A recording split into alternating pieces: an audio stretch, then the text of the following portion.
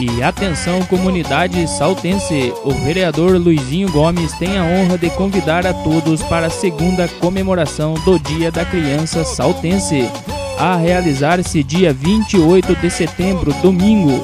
Local conhecida Rua do Gurizão, das 9 horas da manhã às 17 horas. Haverá trenzinho da alegria, cama elástica, piscina de bolinhas, touro mecânico, pipoca, algodão doce e balas.